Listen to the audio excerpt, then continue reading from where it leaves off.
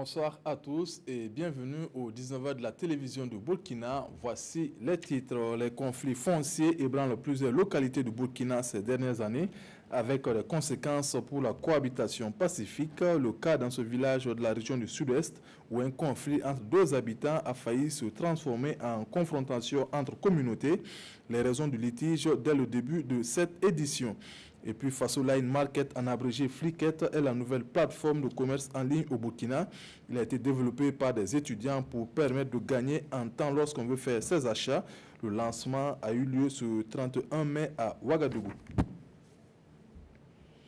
Les conflits fonciers sont récurrents dans la plupart des régions au Burkina. Autrefois entre agriculteurs et éleveurs, ils se viennent de plus en plus entre agriculteurs comme le cas par exemple du village Tonema dans la région du sud-ouest où un conflit entre deux habitants de ce village a failli se transformer en confrontation entre communautés. Les raisons du litige dans ce constat de Bernard Combelem et de Dimitri Badini.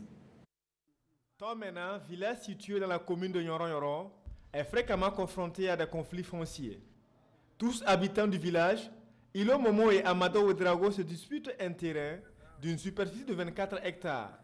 Un champ que Amado Ouedrago dit avoir acquis depuis 16 ans par l'intermédiaire de l'ancien chef de terre décédé pour faire de l'agriculture et de la plantation d'anacardier.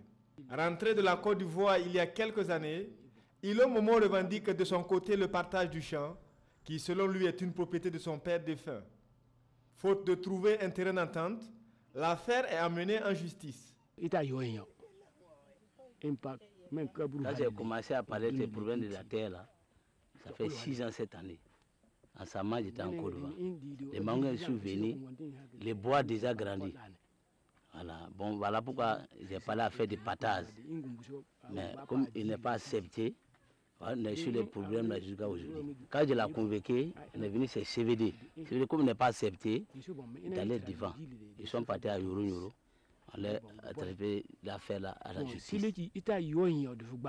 C'est après dix ans d'entretien de mon champ d'anacardier qu'il a apparu. Il se réclame propriétaire du terrain, il veut qu'on partage la plantation, alors on a fait le cours au préfet pour enfin se retrouver en justice. Le verdict prononcé autorise le partage du terrain nu, mais pas le champ d'anacardier. Mais content de cette décision de justice, Ilo Momo est allé cueillir des anacardes dans le champ de Amado Ouedraogo. Et sur plainte de ce dernier, Ilo Momo est interpellé par la police. Une situation qui a failli de peu dégénérer en conflit intercommunauté. Nous avons euh, appris comme tout le monde qu'ils euh, ont esté en justice. Parce que le commissaire a convoqué euh, des, personnes qui étaient impliquées au, problème et qui n'ont pas répondu et qui ont été interpellées. Et c'est après que les populations que M. Momo Yilo, qui est autochtone, euh, je ne sais pas comment ça s'est passé. En tout cas, on a été surpris comme tout le monde de voir qu'il y a un conflit euh, avec des émeutes euh, dans ce village. Des émeutes. Il a failli peut-être avoir des émeutes. Nous avons été assez rapides en allant sur le terrain. Nous avons travaillé difficilement à convaincre les gens, mais je pense que nous sommes parvenus quand même à calmer la situation. À l'instar de Nyoro Nyoro, les tensions autour de la terre demeurent dans d'autres communes de la région du sud-ouest. Des préoccupations face auxquelles les autorités locales œuvrent pour une parfaite entente entre communautés. La garnison militaire de Kaya a reçu la société Belvette pour une dégustation de Mumbin. Plusieurs mets à base de cette légumineuse qui aurait plusieurs vertus ont été présentées. La séance de dégustation, c'est avec Isaka Wedraogo et Nathalie Savadogo Nabaloum. Bientôt, le Mumbin sera servi comme plat de résistance dans les casernes. Ainsi en a décidé les premiers responsables militaires.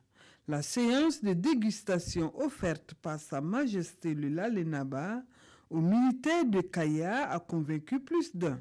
Je suis vraiment impressionné, très impressionné parce que ce soir, nous avons à entendre Sa Majesté le, le Lalenaba. Nous avons vu les multiples dérivés de cette légumineuse et je trouve que c'est vraiment une très belle idée que Sa Majesté le Lalenaba a eue à vraiment promouvoir cette légumineuse. C'est un menu consistant et excellent. Et je peux vous confirmer qu'à l'instant T, je vais introduire ça dans mon repas quotidien. Moi aussi j'ai apprécié le plat, ça a été délicieux et surtout le gâteau aussi c'était bon. Mm, c'était tellement bon. Satisfait total pour le promoteur qui n'entend pas s'arrêter en si bon chemin. Il lance d'ores et déjà d'autres défis. La bière de Mongbin, c'est un projet eh, qui va eh, être euh, analysé dans trois mois. Parce que nous allons le, démarrer et le perfectionner. Et c'est dans trois mois que nous allons euh, avoir la bière non alcoolisée et la bière alcoolisée à base de Mongbin. Le Mongbin est déjà servi dans les universités et les cantines scolaires. À la question de savoir si l'offre pourra couvrir la demande, le promoteur rassure. Les agriculteurs burkinabés ont été sensibilisés. Ils sont déjà à la tâche pour satisfaire la demande. L'Agence nationale d'encadrement des exploitations minières artisanales et semi-mécanisées a rencontré les acteurs du secteur, des acteurs miniers de la boucle d'Umhun. Il a été question de présenter les missions de cette structure à ces derniers. Une invite a été lancée aux exploitants artisanaux à se conformer à la réglementation relative à la protection de l'environnement. Lassina Ouattara, Edouard Ouedraogo et Karim Ouedraogo. L'exploitation artisanale de l'or, si elle n'est pas bien encadrée, engendre des effets négatifs sur l'environnement. Et l'Agence nationale d'encadrement des exploitations minières artisanales et semi-mécanisées veut se faire connaître par les exploitants artisanaux de l'or à travers cette rencontre de Dédougou. Il faut savoir que en fait, l'ANEMAS a plusieurs missions.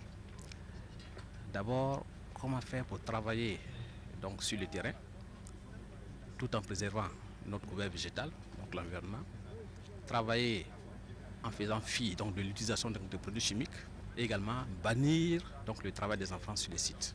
Et nous avons également une mission de restauration donc, des sites d'exploitation artisanale, donc des sites qui ont été déjà, euh, qui sont en fin d'exploitation. Et la démarche est également une centrale d'achat. Donc ça veut dire que nous allons collecter également l'or qui va être produit sur donc, les sites artisanaux à travers donc, le pays. Selon le premier responsable de la région de la Bougout de Mouhoun, les participants vont poser les bases d'une collaboration avec l'agence à la sortie de cette rencontre d'information et d'échange. Euh, il nous appartient de faire en sorte que euh, les collectivités, en premier, puissent vraiment donc euh, encadrer les populations en matière donc de restauration de sol avec les techniciens pour toutes les dégradations liées aux risques environnementaux. Ces rencontres d'information et d'échange débutées le mois de mai vont toucher 12 régions du Burkina Faso.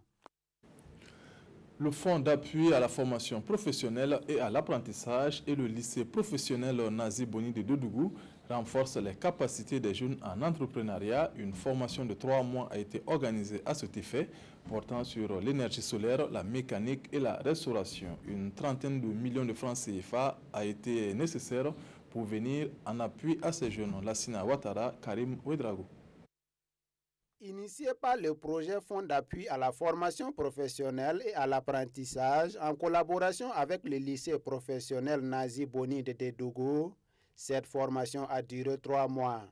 Et c'est plus de 175 jeunes et femmes qui ont bénéficié de la formation dans les domaines de la restauration, la mécanique et l'énergie solaire. Nous sommes plus que satisfaits parce que euh, nous avons initialement prévu former 175 jeunes. nous sommes au-delà de ça, nous sommes à près de 194 jeunes formés dans les différents métiers.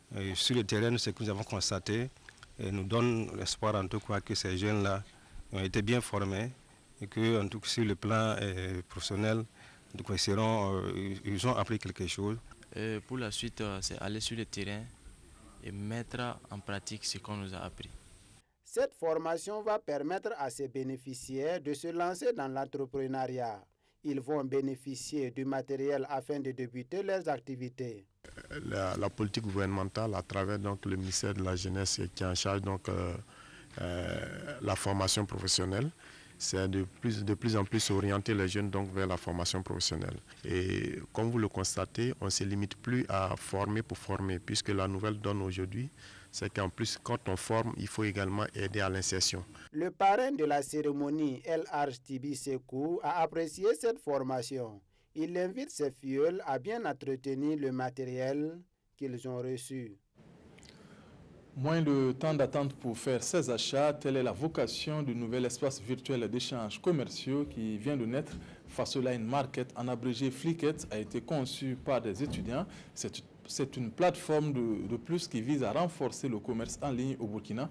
Le lancement officiel a eu lieu ce 31 mai à Ouagadougou. Reportage Issa Kafando et Ismaël Diloma Sirima. Fasoline Market, en abrégé Flicket, une nouvelle application de e-commerce. C'est une plateforme où vendeurs d'articles divers et clients peuvent se rencontrer pour des échanges commerciaux. Flicket est l'œuvre de cinq étudiants, dont trois de l'université Aube Nouvelle et deux de l'IBAM. La plateforme, c'est une solution commerciale qui met en relation les vendeurs et les acheteurs. Chaque vendeur a une place, un espace à lui qui il peut utiliser comme sa boutique, une boutique virtuelle. Fasoline Market est en quelque sorte un marché virtuel. Donc le boutiquier, sans bouger, il publie tous ses articles sur cet espace-là. Et chaque client qui rentre dans sa boutique, il fait le tour de tout le contenu de sa boutique en restant chez lui. Une idée qui enchante le ministère en charge de la jeunesse. Un ministère qui prône l'auto-emploi. Et ces jeunes sont, selon ce département, de bons exemples. Notre vision à l'heure actuelle, notamment la vision de Monsieur le ministre, c'est encourager les jeunes à aller vers l'auto-emploi. Nous, nous, leur invitons à aller en tout cas dans le sens de la création d'emplois pour leur dire que eux aussi ils ont un potentiel pour pouvoir en tout cas se créer des emplois, non seulement pour eux, mais aussi pour d'autres jeunes qui désirent aller dans ce sens. L'application Flicket peut être téléchargée à partir de Play Store. L'inscription est fixée à 5 000 francs par trimestre pour les vendeurs et gratuit pour les visiteurs. Trois gagnants du Paris mutuel urbain du Burkina, PME, ont reçu leur lot ce 31 mai à Bobo du Lasso. La Luna B a ainsi remis une cagnotte totale de 83 millions de francs CFA dont le plus gros lot s'élève à 55 millions de francs CFA. Karim Ilboudo, Siriki Milogo et Moussa Sanon. La Lonabe, la loterie nationale burkinabé fait encore des heureux gagnants. À cette cérémonie de remise de l'eau, Draman Sano et Fogoman Tchonou empochent chacun 14 22 000 francs CFA. Quant à Kessé Salgo, cet autre gagnant, il encaisse 55 164 000 francs. J'ai été ça avec la joie. Je suis content. Moi, je veux travailler avec ça. Bon, d'abord, moi, ici, location. Je cherche avant de rentrer, dormir d'abord, avant de couler.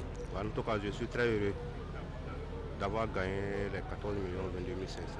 Pour moi, c'est ceux qui jouent qui gagnent. Euh, je donne comme conseil aux parieurs d'avoir toujours le courage de jouer. Le montant total des gains s'élève à 83 209 000 francs CFA. De quoi galvaniser les autres parieurs. C'est comme quelqu'un l'a dit. Quand vous ne jouez pas, vous ne gagnez pas. Donc nous demandons aux parieurs de jouer.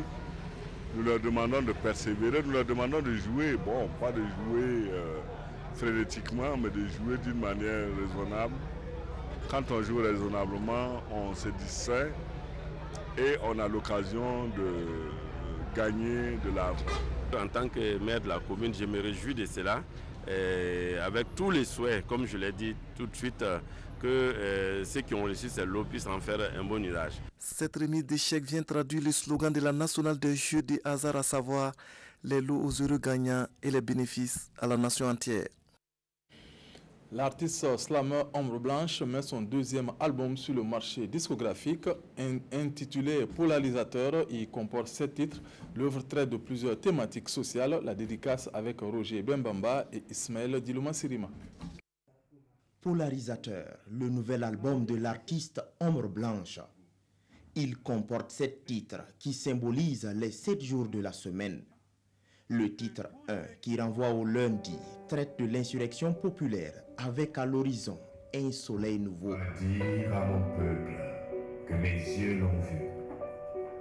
Un soleil nouveau est né cette nuit. Si autrefois lacune et amertume étaient ta vie, sois sans crainte. Aujourd'hui, elle se fera corps et espace où le monde se réjouit. Oui, je l'ai ressenti. En s'inspirant de faits sociaux, Ombre Blanche met le doigt sur les questions de prostitution, de racisme et de dépravation des mœurs. L'album Polarisateur est justement l'œuvre en trois volumes. Et aujourd'hui, on vous a présenté le premier volume euh, qui comporte sept titres. Et les sept titres, c'est les sept jours de la semaine. Donc on a pris euh, justement chaque jour avec son problème, puisque polarisateur, qui est l'œuvre, l'œuvre c'est le polarisateur, fait des polarisations sur chaque titre. Et chaque jour, il y a un problème. Donc vous avez vu qu'on a traité de différents types de problèmes qui, qui minent la société. Ce deuxième opus de l'artiste Ombre Blanche va s'échelonner sur trois niveaux. Après ce volume 1 qui correspond au jour de la semaine, deux autres volumes vont suivre pour représenter les mois et les années. C'est la fin de cette édition. Merci de nous avoir suivis. Le 20h, c'est avec Nathalie Kaoré. Bonne suite de programme sur la RTB. Bonsoir.